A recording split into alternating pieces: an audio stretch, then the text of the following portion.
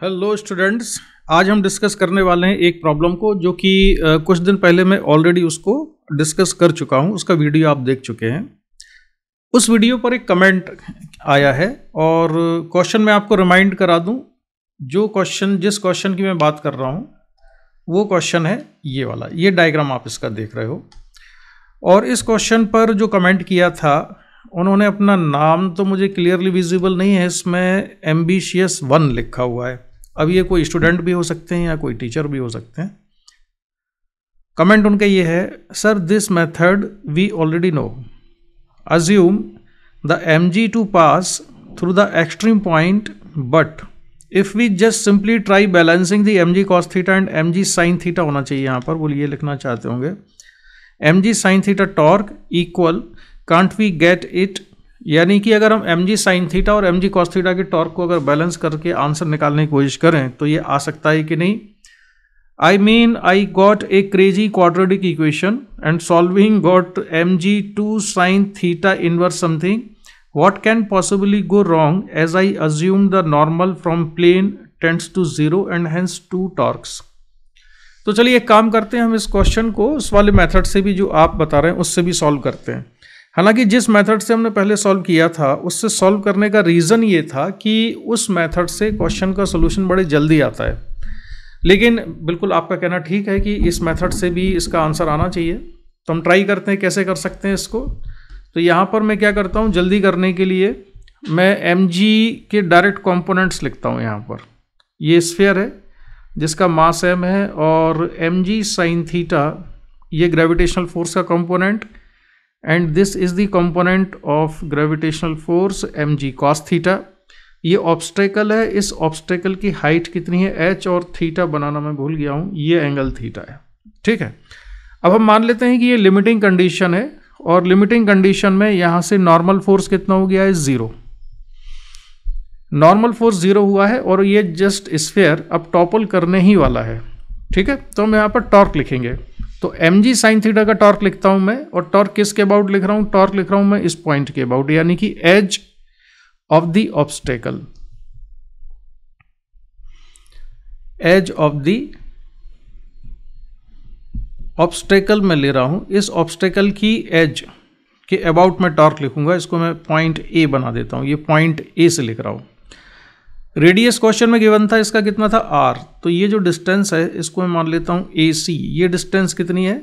Are के बराबर radius are है। और ये हाइट तो एच थी ही। अब पॉइंट ए के अबाउट हम टॉर्क लेते हैं। तो taking torque about point A तो पॉइंट ए के अबाउट एम जी का टॉर्क हम लिखते हैं। तो ये होगा एम जी साइन थीटा और जो परपेंडिकुलर डिस्टेंस है ये वाली, ये परपेंडिकुलर डिस्टेंस कितनी हो जाएगी? ये डिस्टेंस होगी आर माइनस एच के बराबर। तो ये हुआ आर माइनस एच और इसका जो सेंस ऑफ़ रोटेशन है टॉर्क का पॉइंट ए के अबाउट जो मैं लिख रहा हूँ, इसका सेंस ऑफ़ रोटेशन कैसा है? एंटी क्लॉकवाइज सेंस में है। इसके बाद मैं टॉर्क लिखता हूँ एम जी कॉस थीटा का। तो एम जी कॉस थीटा और जो परपेंडिकुलर डिस्टेंस है इसकी, ये परपेंडिकुलर डिस्टेंस है। इस परपेंडिकुलर डिस्टेंस को हम लिख सकते हैं कि ये जो डिस्टेंस है यहाँ तक की ये डिस्टेंस कितनी है? ये है आर माइनस एच तो इसको लिखा जा सकता है जो ब्लैक इंक से आप देख रहे हो।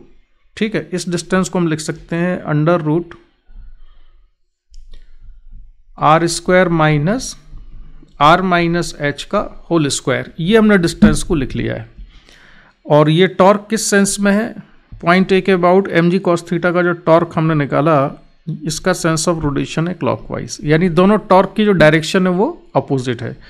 तो मैंने लिखा net torque equal to zero just balance की कंडीशन है ये जस्ट बैलेंस हुए हैं टॉर्क तो एम जी और एम जी तो कैंसिल हो जाएगा। और मैं क्या करता हूँ अंडर रूट हटाने के लिए दोनों तरफ़ स्क्वायर कर देता हूँ। तो ये मिलेगा sine square theta R minus H का whole square equals to cos square theta into ये अंडर रूट हट जाएगा, साथ ही साथ ये होगा R square minus R square minus H square plus two R H के बराबर। लेफ़्ट साइड में भी होल स्क्वायर ओपन कर देते हैं तो ये होगा sine square theta into R square plus sine square theta H square minus two R H sine square theta equals to यहाँ पर आर स्क्वायर से आर स्क्वायर कैंसिल हो जाएगा, और बचेगा two R H cos square theta minus H square cos square theta right अब देखिए, अब हम क्या करते हैं कि जो ये है sine square theta R square ये तो एज इट इज़ रहेगा। Sine square theta H square और H square cos square theta इनको एक साथ लिखते हैं। तो R square sine square theta R square sine square theta को हमने ऐसे ही लिखा रहने दिया और एच स्क्वायर को कॉमन लिया तो यहाँ बचेगा sine square theta plus cos square theta इसी तरह से माइनस टू आर एच को कॉमन ले लेते हैं तो ये होगा sine square theta plus cos square theta equal to zero अब यहाँ से क्या बचता है?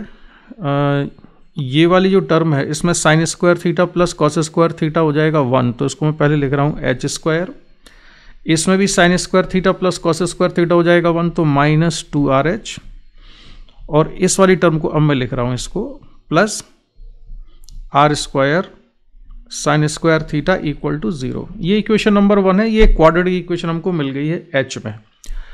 अब हम इसको सॉल्व करते हैं तो h equal to minus B plus minus under root B square minus four A C upon two A जो कि बड़ी ही कॉमन इक्वेशन है, उससे हम सॉल्व कर रहे हैं। तो h equal to minus B यानी कि plus two R plus minus under root B square हो जाएगा four R square minus four A C A यानी कि वन ही रहेगा और सी कितना है? R square sine square theta तो R square sine square theta upon two.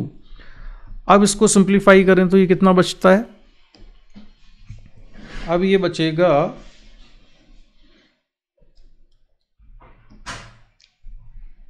H equal to two R plus minus अब फोर आर स्क्वायर कॉमन निकाल देते हैं तो ये आएगा two R under root one minus sine square theta one minus sine square theta upon two.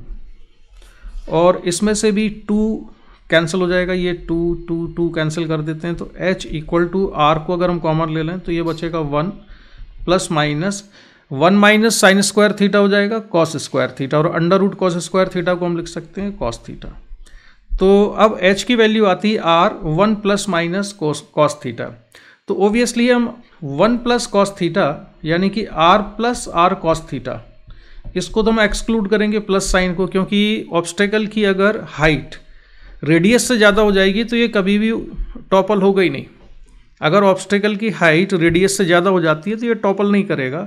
तो obviously most acceptable answer हमारे लिए क्या हो जाता है? R one minus cos theta and this is the answer तो जो मेथड से आप इसको करना चाहते थे, उसको हम इस तरह से कर सकते हैं।